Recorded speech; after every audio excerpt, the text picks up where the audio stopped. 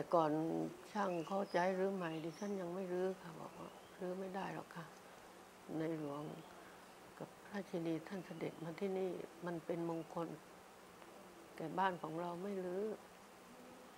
ทีแรกยังว่าถ้ามีบ้านอยู่ใหม่อันนี้จะเก็บเอาไว้ จะไม่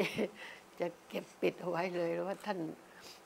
พระเจ้าอยู่หัวเคยเสด็จที่นี่อยากจะเก็บเอาไว้เลยแหละ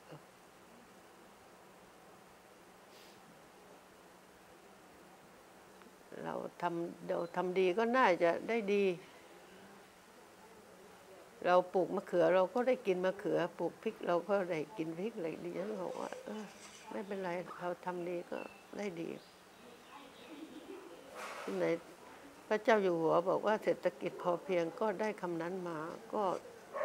ฝังใจอยู่แล้วก็ไม่ไม่เคยลืมนะว่า เคยลำบากยังไง ใช้จ่ายก็ระมัดระวัง